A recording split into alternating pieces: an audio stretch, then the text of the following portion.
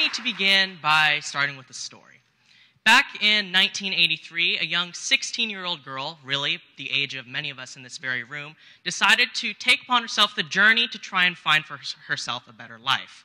Now, that involved leaving her homeland, Vietnam, her family, and everything she ever knew behind, hoping that for something better for herself. Now, of course, this meant the journey would be perilous, as she and hundreds of other people crowded themselves onto a tiny fishing boat and sailed across the ocean almost blindly for four days and three nights with little to no food or water. The situation was something like this, and as you can imagine, it was pretty desperate. However, she was not the only one to take part in this journey.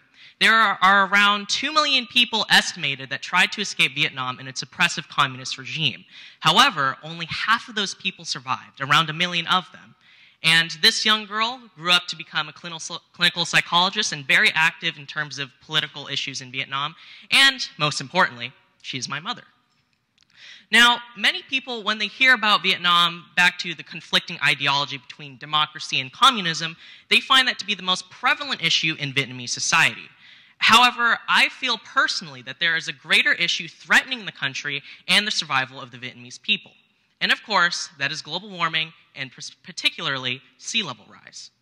But let's start with the basics. Global warming is the issue in which we as people are creating so much pollution through our gas and oil powered vehicles, and that the carbon dioxide emissions generated float up into the atmosphere, making it thicker and thicker. This thick blanket of our atmosphere traps sunlight even better than ever before, and thus the heat continuously bounces from the surface of the Earth, thus heating the temperatures and climates all around the entire planet. Now, while the changes in temperature are very minor, only a few degrees and few degrees Fahrenheit, in places such as the Arctic, Greenland, or Antarctica, the effects can be very, very devastating on these fragile ecosystems particularly with global warming, when it forces ice to melt, despite these small rises in temperature, that ice will, of course, when it does melt, it creates water that floats into the ocean. Now, over time, this water that, that is generated and flows into the ocean will rise even more, and thus, of course, you have sea level rise.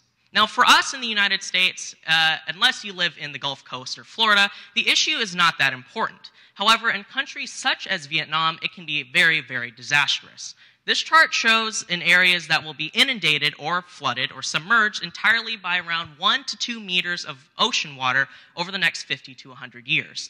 The red areas indicate that will be inundated, and especially what you'll note is that in the southern tip of Vietnam, that it is, seems to be a very, very large problem. Now, unfortunately, this southern tip is also the Mekong Delta, which contains large quantities of fertile soil and farmland, where Vietnam grows most of its food supply. Now, if it is to be submerged in seawater, then of course that means all this food and all these supplies that Vietnam desperately needs as a third world country will be essentially destroyed. Now, one thing that this chart in particular does not mention, which you may find in government reports or even United Nations reports, is that a, handful of the Vietnamese people will be quote unquote affected. But what does that really mean? Well, affected is, is, a euphemism. And basically, what it means is you have a very high likelihood that because of global warming and sea level rise, you might die. Now, of course, the ways that that could happen range from homelessness to starvation to political instability, and even at the highest level, war.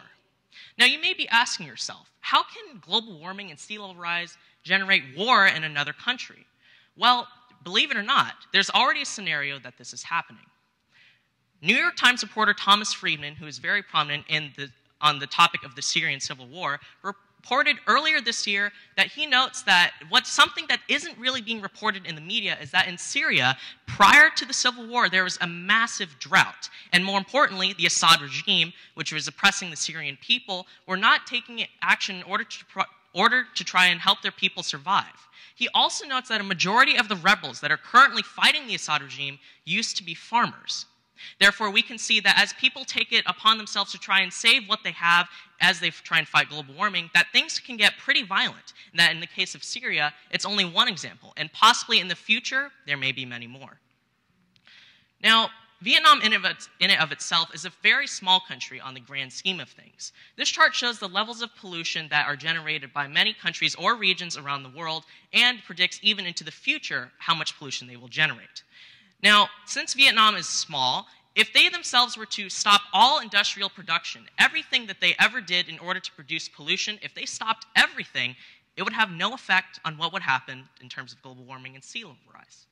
What you may notice in this chart is that at the bottom, the big blue band represents the United States. And closer to the top, you have a large, kind of lighter purple band that represents China. Notice how those two bands are the largest, meaning that the United States and China generate the most pollution out of any country or, collect, or collection of countries around the entire world. Therefore, this means that as first world polluters, that we really need to take it upon ourselves, take the responsibility in order to try and protect our planet and save third world countries such as Vietnam. So what exactly can you do as an individual?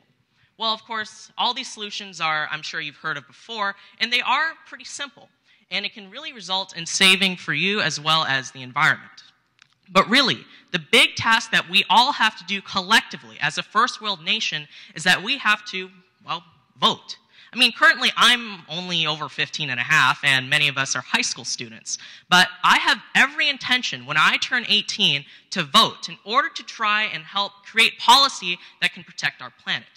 As the next generation, we all must take action and use our rights in order to select the correct policymakers, hoping that they will make the right decisions and the right policies in order to combat global warming, protect our environment, and, by extension, save countries like Vietnam and make the world a better place. Thank you.